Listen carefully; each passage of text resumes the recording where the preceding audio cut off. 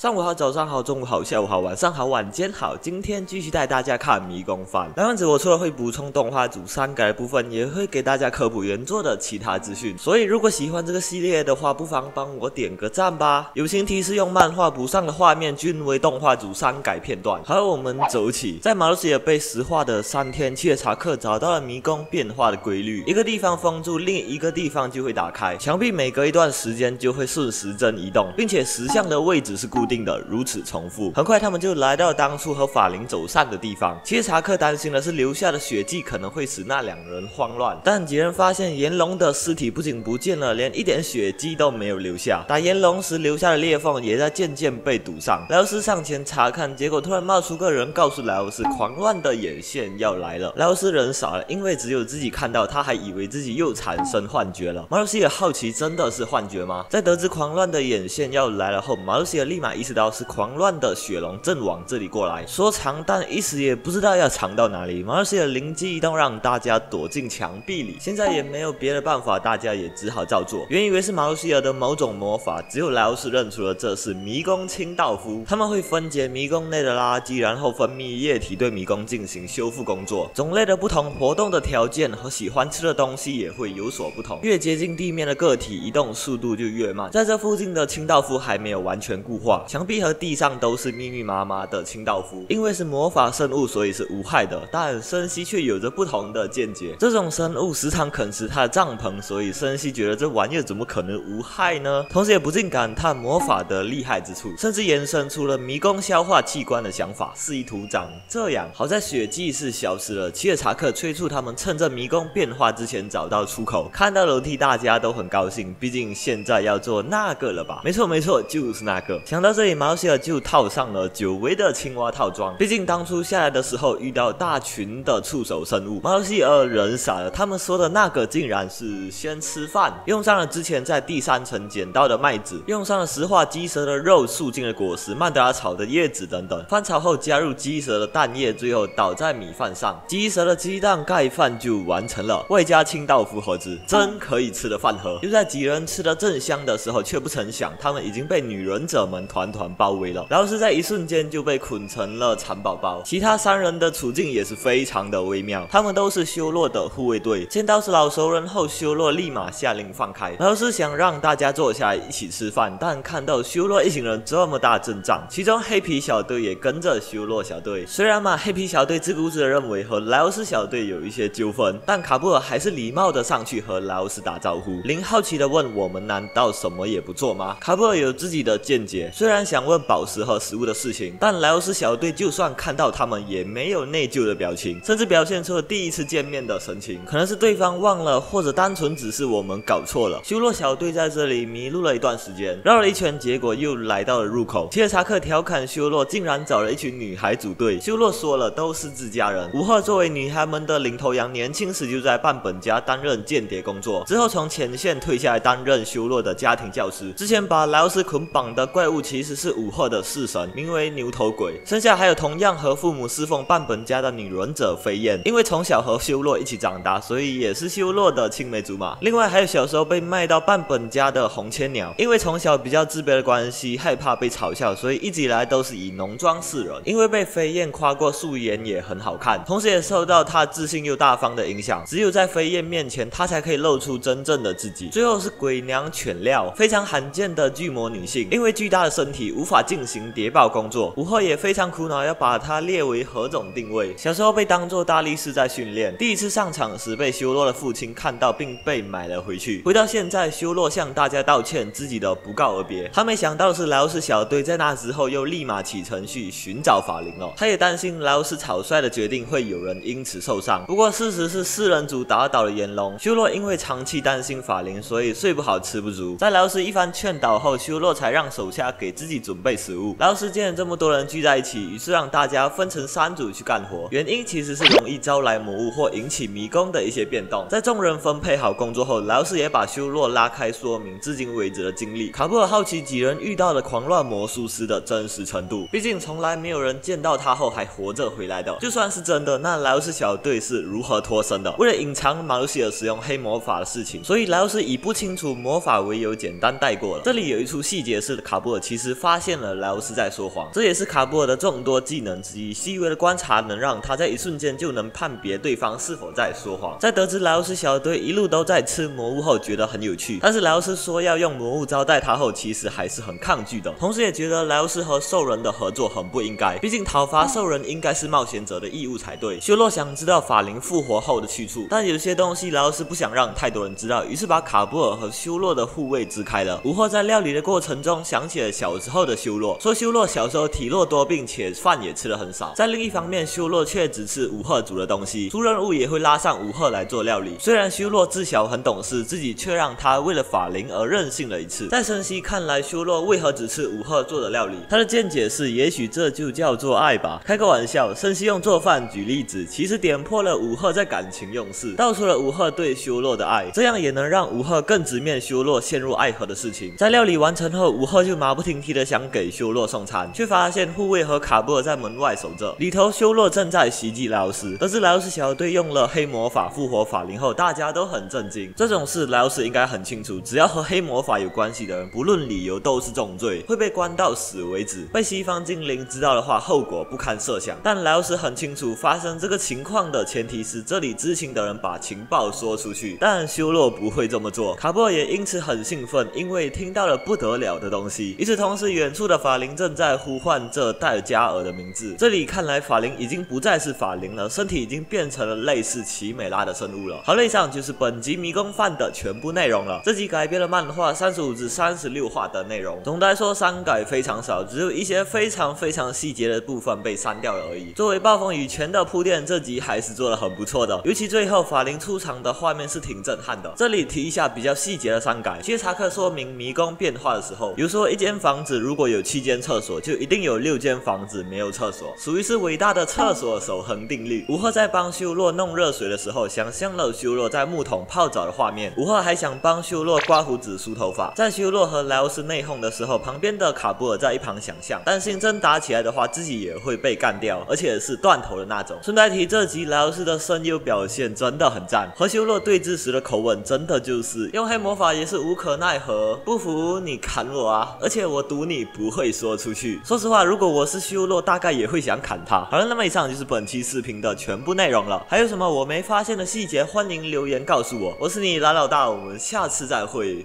拜拜。